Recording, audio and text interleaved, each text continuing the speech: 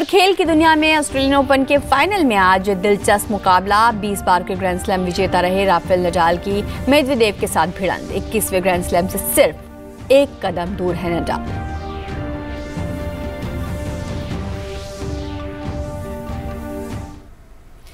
और फ़िलहाल आपको सीधे लिए चलते हैं बुलंदशहर, जहाँ योगी आदित्यनाथ कोविड अस्पताल के निरीक्षण के बाद प्रेस वार्ता कर रहे हैं।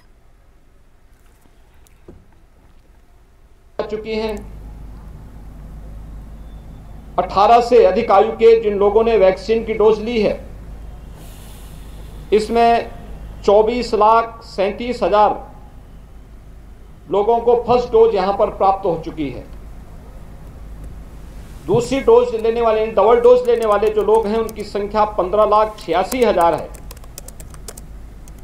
पंद्रह से अठारह आयु वर्ग के एक लाख चालीस हज़ार यूथ ने वैक्सीन की डोज ले ली है और प्रिकॉशन डोज भी यहाँ पर बाईस हज़ार से अधिक लोगों को दे दी गई है।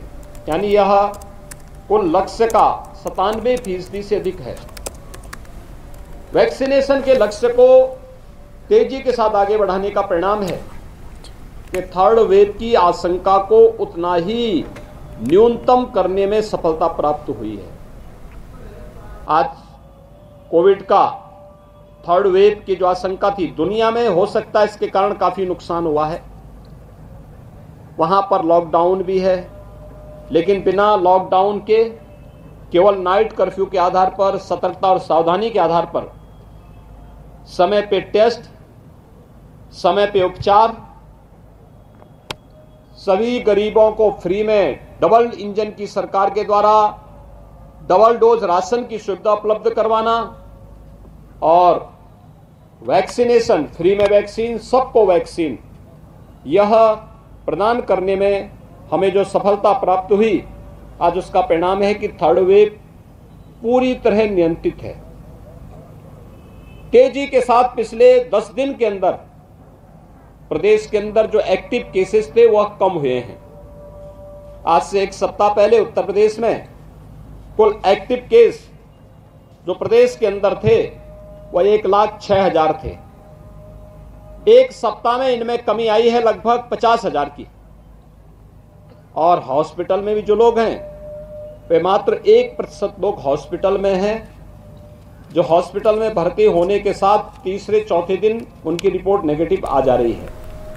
यानी एक सफल मॉडल कोरोना प्रबंधन का उत्तर प्रदेश के अंदर लागू है। जिसमें जीवन और जीविका दोनों को बचाने का प्रबंध है। भारत सरकार का भरपूर सहयोग है। डबल इंजन की सरकार का लाभ, प्रदेश की 25 करोड़ जनता को न केवल उनके जीवन को बचाने के लिए, बल्कि उनकी जीविका को बचाने में भी सफलतापूर्वक हम आगे बढ़ा रहे हैं। आज मैंने इसीलिए बुलंदसर के इस डेडिकेटेड कोविड हॉस्पिटल का निरीक्षण किया है और यहाँ पर इन सभी चीज़ों को नज़दीक से देखा है।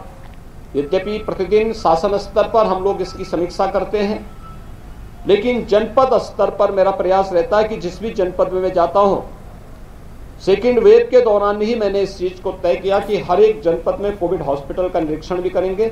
आज मैंने यहाँ पर डेडिकेटेड कोविड हॉस्पिटल का निरीक्षण किया। संतोषजनक स्थिति में यहाँ पर सभी चिकित्सक, प्रशासन, कोरोना वॉरियर्स जनता जनार्दन की सेवा के लिए पूरी तत्परता के साथ कार्य कर रहे हैं। तो उत्तर प्रदेश के बुलंदशहर में यूपी के मुख्यमंत्री योगी आदित्यनाथ कोविड हॉस्पिटल और प्रबंधन समिति का निरीक्षण कर रहे थे। उन्होंने कहा कि एक सप्ताह में प्रदेश में कोविड के एक्टिव केसेस में कमी आई है। साथ ही टीकाकरण पर संबोधित करते हुए उन्होंने कहा कि उत्तर प्रदेश में 24 लाख से ज़्यादा लोगों को पहली डोज और 15 लाख से ज़्यादा लोगों को दोनों ही डोज लग चुकी है। और आगे बढ़ते हैं। मणिपुर में होने वाले विधानसभा चुनावों में भारतीय जनता पार्टी सभी 60 सीटों पर अपने प्रत्याशी उतारेगी। पार्टी का दावा है कि भाजपा मणिपुर में दो तिहाई से ज़्यादा बहुमत के साथ सरकार भी बनाएगी। भारतीय जनता पार्टी संसदीय बोर्ड ने तय किया है कि मणिपुर में भारतीय जनता पार्टी सभी सीटों पर सभी 60 सीटों पर भारतीय जनता पार्टी पूरी दमदारी के साथ चुनाव लड़ेगी। और इसलिए पार्टी के संसदीय बोर्ड ने सभी 60 सीटों के उम्मीदवारों के नाम तय किए हैं। हमें विश्वास है कि भारतीय जनता पार्टी जो सभी साठ सीटों पर चुनाव लड़ रही है, आने वाले चुनाव में दो तिहाई से ज़्यादा बहुमत लेकर पुनः मणिपुर में सरकार बनाएगी। भाजपा अध्यक्ष जे पी नड्डा ने आज यूपी के शिकोहाबाद में घर घर जाकर पार्टी का प्रचार किया और पार्टी प्रत्याशियों के लिए वोट मांगा। जेपी नड्डा के साथ इस दौरान केंद्रीय मंत्री अर्जुन राम मेघवाल भी मौजूद थे।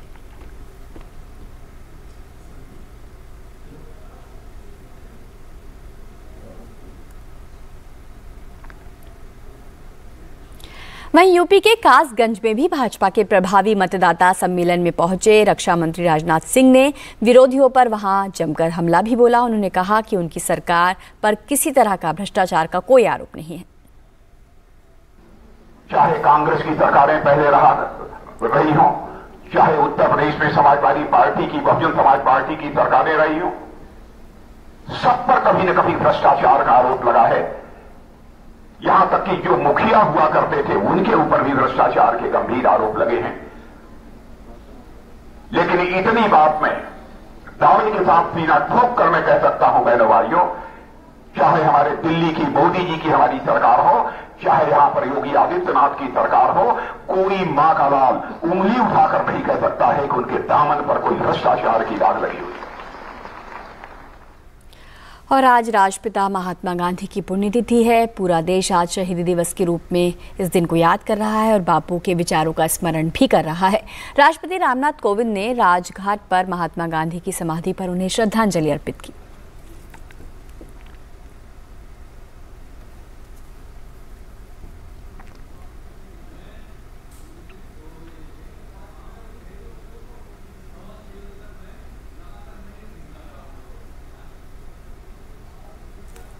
प्रधानमंत्री नरेंद्र मोदी ने महात्मा गांधी की चौहत्तरवीं पुण्यतिथि पर उन्हें राजघाट पर जाकर श्रद्धांजलि दी और कहा कि बापू के नेक आदर्शों को और लोकप्रिय बनाने का ये हमारा सामूहिक प्रयास है। आज शहीदी दिवस पर पीएम ने उन सभी महानुभावों को श्रद्धांजलि अर्पित की जिन्होंने साहसपूर्वक देश की रक्षा की। पीएम ने कहा कि उनकी सेवा और वीरता को हमेशा याद किया जाएगा।